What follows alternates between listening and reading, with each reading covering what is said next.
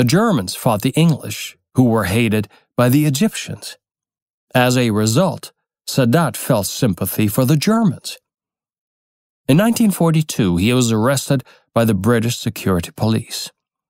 He was able to flee two years later and from then on lived underground as a refugee. In 1952, Anwar As-Sadat played a key role in the revolution that overthrew the monarchy in Egypt and founded the Republic.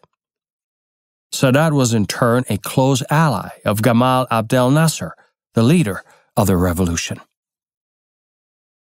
After Nasser's death in 1970, Sadat unexpectedly became president.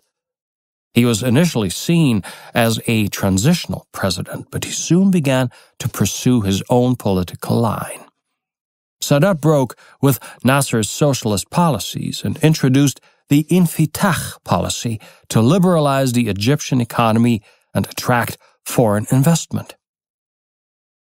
In 1972, Sadat expelled Soviet military advisors from Egypt marking a clear departure from the country's previous pro Soviet orientation and paving the way for rapprochement with the West.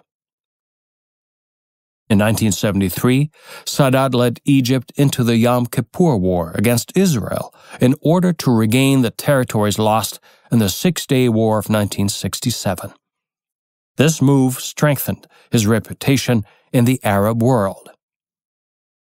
Sadat's biggest political move was his rapprochement with Israel. In 1977, he traveled to Jerusalem and addressed the Knesset, which was seen as a historic gesture of peace. The Camp David Peace Accords, 1978, which he negotiated together with Israeli Prime Minister Menachem Begin under the mediation of U.S. President Jimmy Carter, led to the first peace treaty between Israel and an Arab state. Sadat was awarded the Nobel Peace Prize together with Begin in 1978 for his commitment to peace. He once said, I have decided in favor of peace, even if it means risking my life. Sadat's peace policy with Israel met with fierce resistance in Egypt. Many Egyptians and Arabs saw this as a betrayal of the Palestinian cause. Sadat's domestic policy was characterized by contrasts. On the one hand, he promoted economic reforms and political openness, while on the other, he crushed domestic political unrest with a heavy hand. However, his economic reforms did not lead to the hoped for improvements. Inflation and unemployment remained major challenges during his time in office.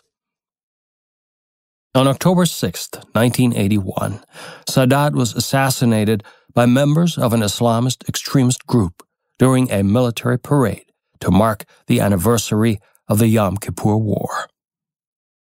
Well, so much for Anwar As-Sadat.